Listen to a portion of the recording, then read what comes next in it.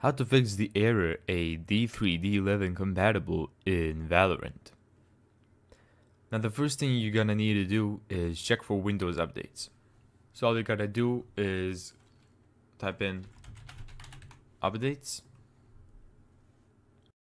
And here as you can see I'm not up to date. So I need to check for updates and update my computer.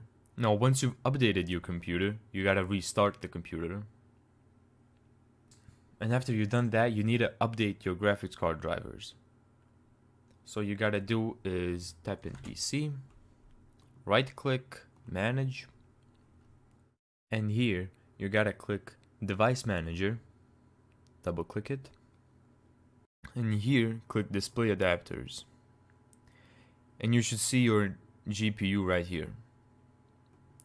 Right click it and click update driver. The next thing you're gonna need to do is download DirectX 12.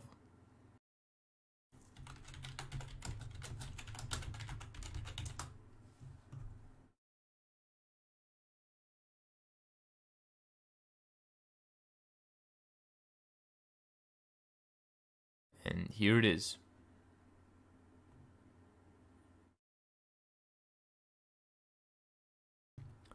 The next thing you, that you're going to want to download is Runtime Pack. You can find this anywhere online.